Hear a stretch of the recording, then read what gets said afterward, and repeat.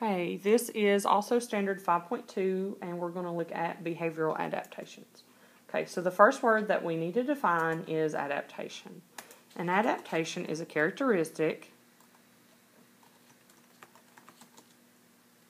that improves an individual's ability to survive and reproduce. The word, the next word that we need to define is behavioral adaptation. Behavioral adaptation is how an animal acts or behaves that helps it survive. Okay. Next word we have is innate. And the word innate is something that you have an innate characteristic, okay, it's something that you're born with, all right? Um, so it is inherited through genes, okay? And an example of this, or two examples, let me give you two examples. One examples would be like bees being able to fly, bees flying, and fish swim, okay? They're born with the ability to know how to do this, okay? All right. Now, if the first, uh, put the first letter of your first name in the upper left hand corner. Again, that's first letter of first name in the upper left hand corner. Okay.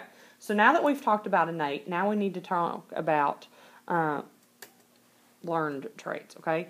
And we get learned traits by observing others or through experience. All right. So our examples here that we have would be a dog fetching. Okay, you have to teach it how to do that. Or also, for us humans, it's the language that we speak. Alright? Those are both learned. So innate is something that you're born with, your ability that you're born with. And learned, of course, you learn by observing others or through experience. Okay. The next word we need to talk about is migration.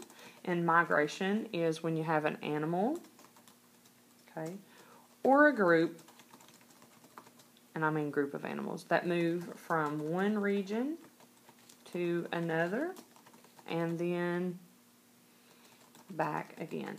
Now, there's several reasons why animals migrate. Um, most often it's because we think of what? Temperature, correct? Also, animals can migrate to find food, uh, to return to where they were born. Sometimes, often, they even have their offspring at this location. And, believe it or not, but they will migrate for safety. Okay?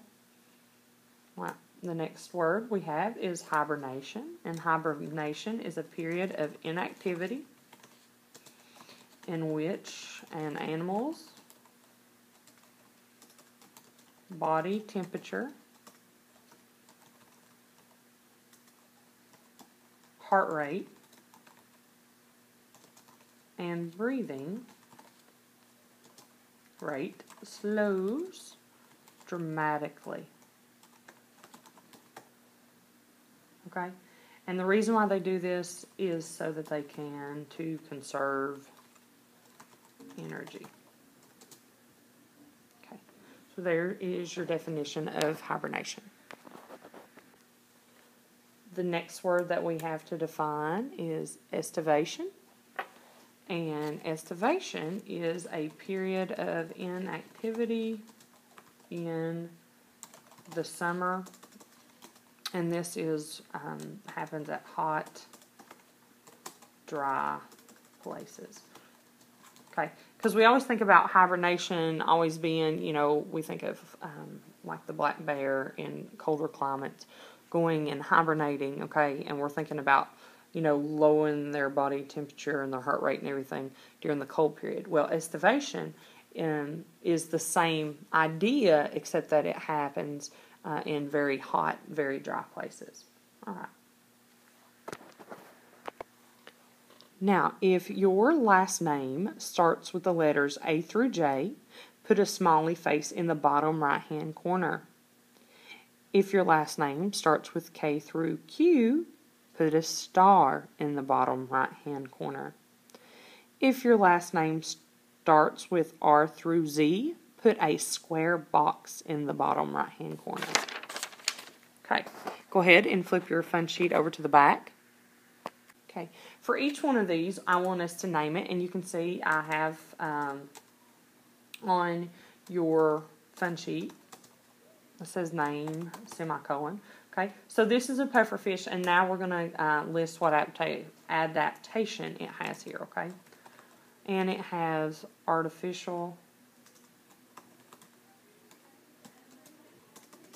yeah, bigness, all right? All right, the pufferfish um, feels threatened, so he blows himself up to appear bigger um, and just look meaner tougher, okay? Uh, so this is an adaptation for him, hopefully, to scare off some predators, all right? The next animal that we have here is a prairie dog. Okay. All right, put that above the picture. Underneath the picture, we're going to put the adaptation. Okay, and the adaptation here is a behavior in which the uh, prairie dog uh, burrows. All right, and this is to keep out of the hot sun. So the prairie dog burrows into the ground, all right, gets underneath the soil level, and it's so he can stay cool. Okay. Next, we have the wildebeest, and on this picture we have several wildebeest. Alright, so what does the wildebeest do? In this picture, you can see that they travel in herds in search of food, and they also do it for safety reasons. Okay? Alright, so that is an adaptation, actually traveling in a herd. Alright, next we have a sea turtle, species of sea turtle. Alright, and this little guy, what I'm going to show here is that he returns to the same place each year on shore to lay her eggs. Right. If you have Miss Brules, um, circle the wildebeest picture. Go back and circle the wildebeest picture.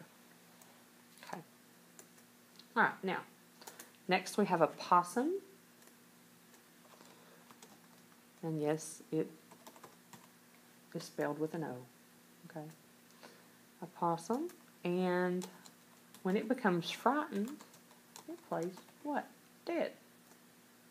You ever heard the saying? Are you just playing possum? When somebody acting like they're asleep and they're really not. Okay.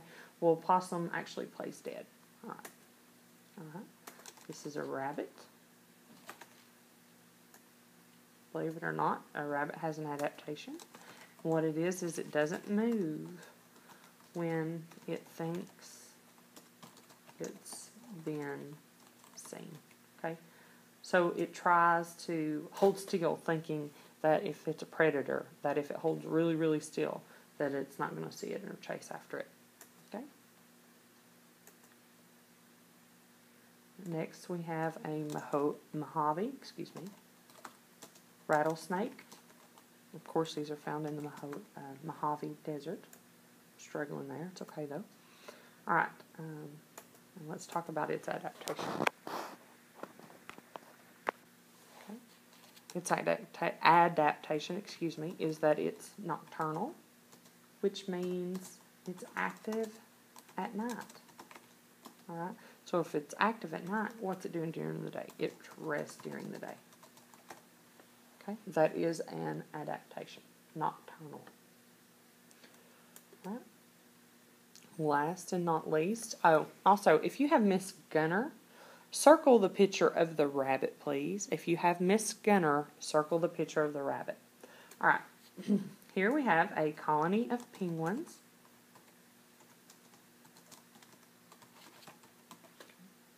Like the wildebeest. Uh, the wildebeest travel in herds, but um, when we talk about penguins, we talk about them in a colony, and they often huddle very close together for warmth and for safety. All right. This is SPI 5.2, and we're looking at behavioral adaptations.